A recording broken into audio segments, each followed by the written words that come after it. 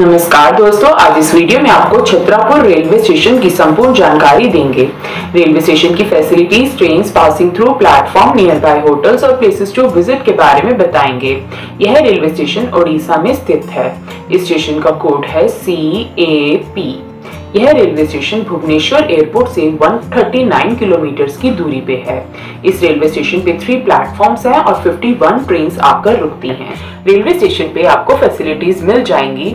Railway station पे waiting room available है। Railway station पे स्मॉल फ़ूड आउटलेट्स अवेलेबल हैं, जहाँ से आपको चिप्स, कोल्ड ड्रिंक और टी मिल जाएगी।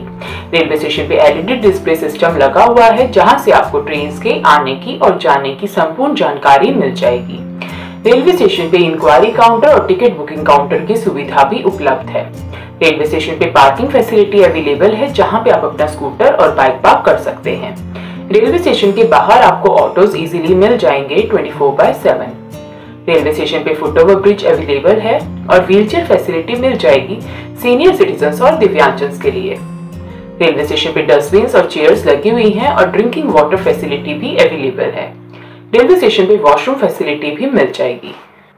रेलवे स्टेशन का ट्रैक है डबल इलेक्ट्रिक लाइन जोन है ईस्ट कोस्ट और डिवीज़न है खुर्दा रोड पॉपुलर ट्रेन जो इस रेलवे स्टेशन से गुजरती हैं, वो हैं Mumbai Chhatrapati Shivaji Maharaj terminal, Bhubaneswar Konark express, Puri Yesvantpur Garib Rath express Santragachi Chennai central Antyodaya express, Puri Tirupati main express, Jagdalpur, Bhubaneswar, Hirakhand express, MGR Chennai central, Howrah superfast express, Ahmedabad Puri superfast express Tata Nagar Visakhapatnam superfast express.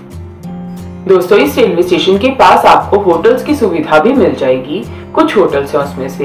Hotel लीसा Galaxy, जो 1.1 kilometre की दूरी पे है। Hotel Asha pride, जो 1 kilometre की दूरी पे है। होटल निरुपमा, जो 17.2 किलोमीटर की दूरी पे है।